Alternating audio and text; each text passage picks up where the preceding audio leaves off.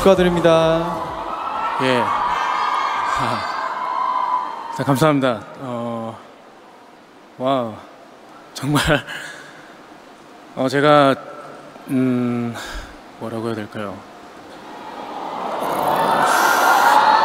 제가 입대하기 전에, 어, 저희 팬분들 심심하시 마시라고 준비해놓고 간 앨범으로, 어, 팬분들 제 선물 드리려고 했는데 오히려 여러분들한테 선물을 다시 제가 돌려받았네요.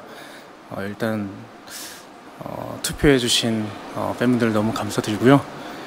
어, 제가 기억을 해보니까 어, 여기에 9년 전에 이곳에서 수- 어, 상을 받았었던 것 같아요.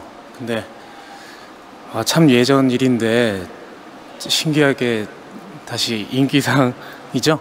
네, 인기상을 받게 되니까 아, 정말 감회가 새롭고요.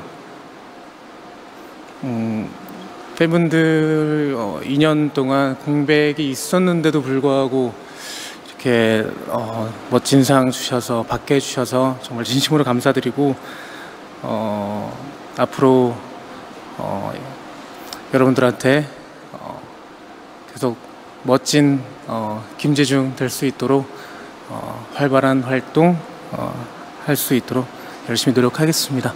오늘 상 진심으로 감사드립니다.